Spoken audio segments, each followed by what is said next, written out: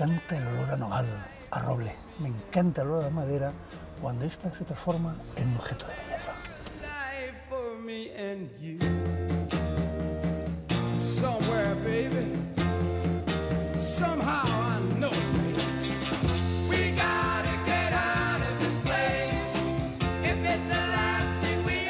Bueno, aquí Ignacio echa sus músculo, ¿eh? Con el martillo y la, y Sí. la gubia. Sí que hacemos pesas, sí. Cuéntame, ¿qué estás Porque haciendo? pesa- Ahora mismo estoy haciendo un casco para un escudo de heráldica. Y ahí hay que devastar, sacar la cancela que se quede más arriba, ¿sabes? Ir formándola como, si- como si estuviera el casco realmente puesto encima.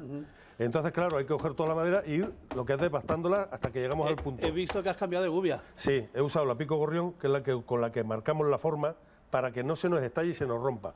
Ahora esta es una semiplana, que es con la que vamos ya dando la forma. Y luego cogemos una de media caña Ajá. para reformar lo que es el cacho de aquí de- del cuello. Y esta se llama media caña, porque parece que es la mitad de una caña. Esta es una semiplana, porque no es plana del todo, es semi. Esta sería una plana. ¿Y esta cuál sería? Estas se llaman de codillo y luego aparte de codillo se llama cola de pescado, porque hace la forma de la cola de un Ah, pescado. qué bueno. Y estas son para trabajar zonas cóncavas como esta.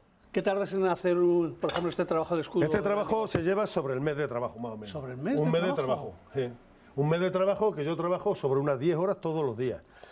Claro, es que vamos a ver, no estás exactamente todas las horas, porque es que para hacer este trabajo, primero se va devastando la madera, se encola. Estás con otra cosa. Sí. Luego vienes y la dibujas, cortas, haces los agujeros y te pones ya a devastar y a tallar. Cuando ya has llegado a un punto que ya has hecho la talla para que no te estorbe ahora mismo el casco ni los escudos encima de esta talla, luego estas piezas que las has cortado aparte las encolas, que es el segundo desbaste ya que llevamos. Y me he dado cuenta que primeramente lo que haces es un boceto. Primero tengo que sacar el boceto Claro. o dibujo para enseñarle al cliente y decirle al cliente el valor que le va a valer. Si usa esta madera tiene un precio, si es haya tiene otro, si es nogal español, eso vale un montón porque el nogal español es buenísimo. ¿Qué, qué madera es esta? Esta se llama Danta, Danta. que es parecida a la caoba. ¿Sabes a qué Hue- me, huele muy bien. ¿Sabes a qué me huele? La iglesia. Sí, sí, Tallistas ya pocos quedan. queda muy poquito, muy poquito. Una pena, ¿no? Muy poquitos porque no se puede aprender el oficio. Porque antes yo lo aprendí de chiquinino con mi padre, de chiquinino me metía con él y trabajaba. Y ya tengo 53 años, pero no cobraba. Ahora viene la gente porque mucha gente dice, eh, coge a mi hijo que aprenda, pero claro, coge a mi hijo, pero ¿cuánto cobra? Para tallar esta madera tan fuerte requiere que todas las gubias estén muy afiladas. ¿De Tiene que estar súper super afilado, de qué tiene que afeitar. Cuando hablas de afeitar, ¿qué significa? A ver. Eh, el afeitado es simplemente esto. Yo tengo aquí ahora mismo los pelos y esta gubia. a ver si te vas a cortar. No, tranquilo que no me corto, que es mi mano. Y si te das cuenta, ¿has visto Bueno, cómo.? bueno, bueno. eso- eso- oye, eso se me ocurre como depilador para mujeres o hombres. Estupendo.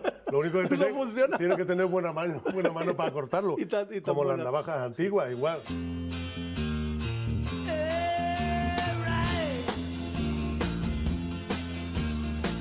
Oye, hay mucho tongo con esto. ¿A que sí? Hay mucha gente que utiliza máquinas Sí, eh, para, para tallar y no Sí, y esto a mano como tú, nada. Hay mucha gente que al principio había un tallista que sacaba la primera pieza.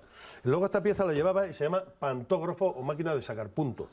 Se la llevaba y es como cuando copias la llave. Tiene una broca y, y una está aquí y la otra está aquí. Y te lo van sacando y luego el tallista lo repasaba. Pero es que ya han sacado una que ya es por ordenador todo. Pero aún así sale muy caro. Muy caro en el sentido, son máquinas que gastan mucho para una pieza de encargo.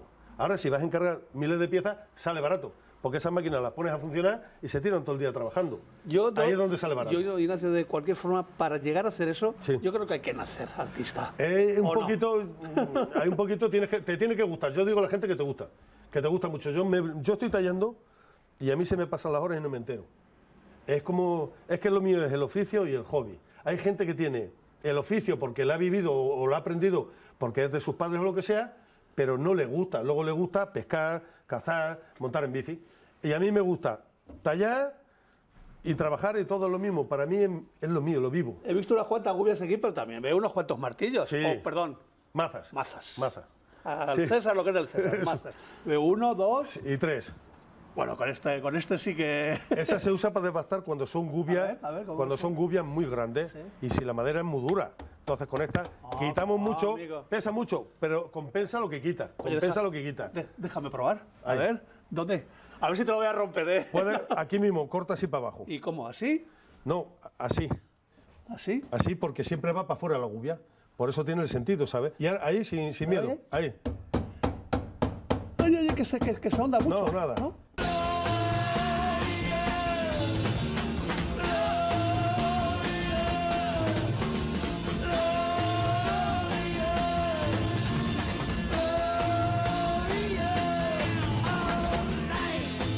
Bueno, amigo, Muy bien, Carlos. muchísimas gracias. Yo encantado. Y continúa, ¿vale? Vale.